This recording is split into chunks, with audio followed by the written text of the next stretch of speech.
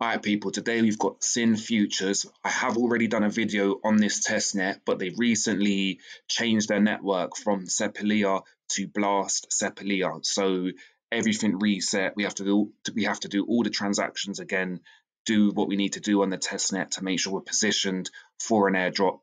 They've had big investment, around 30 million has been invested into Syn Futures, so there's big potential big potential with it being in Blast. Blast mainnet launch is coming up in a couple weeks, so loads of hype. Yeah, I think Syn Futures could dish out some big airdrops, so we need to make sure that we've done everything that we need to do. So let's get right into it.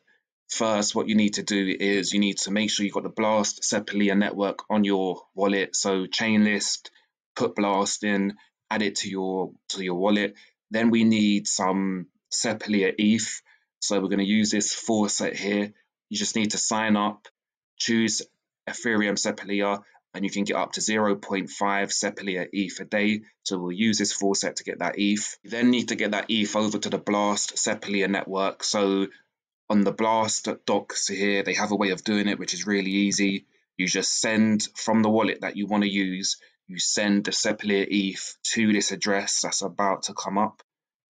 I will leave this address in the description. So you just send it to this address here and then the ETH will be on the Blast Sepolia network in the wallet that you sent it from. Okay, so now we're ready to go onto the testnet and get these um, these tasks done. So firstly, we need to mint some USDM. So at the top here, there's a tab and you will um, click it to mint some USDM. So once you've got the USDM, you're going to come to your portfolio and here you're going to see your 10,000k but it's going to say zero here. So you need to deposit it. So deposit your USDM and then we can go and do some transactions. So first we can go to the earn tab and they've got loads of pools here where you can deposit the USDM so you just want to deposit in a few pools do three to five pools deposit some um, USDM in here and then make sure you also withdraw. So in a day or so come back withdraw some, and then deposit on some other ones, some other some other pools. Once you've done that, you're going to come to trade, and we're going to do some trades. So they've got a nice selection of um, coins that you can trade, coins and tokens. Up here on the left, you can pick if it wants to pop up for me. So yeah, they've got a nice selection here you can trade and simply we're just going to do some longs and shorts on um, on some of these tokens. Put an amount in, choose your leverage, make sure you're on the Blast Sepolia network. If you're not, it'll ask you to switch like it's telling me. And um, yeah, you just want to do some trades on as many tokens as you can.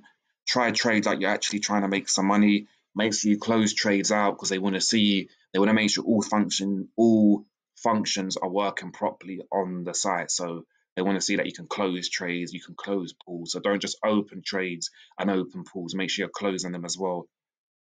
And just keep doing it daily. Come back daily, do new trades. You can see I've got a couple here open, or I've got one here open on Sol because I'm on Sol yet. So I've got one open on Sol. That's it with the testnet. Real easy, five to 10 minutes. You can get these tasks done. I would get it done ASAP because I think we're nearing the mainnet launch. I think a lot of these Blast um, projects, these projects launching on Blast ecosystem, are going to look to launch when the mainnet goes live, which is in around two and a half weeks. So, yeah, don't waste no time. Have a guild, and they have some roles that we can claim.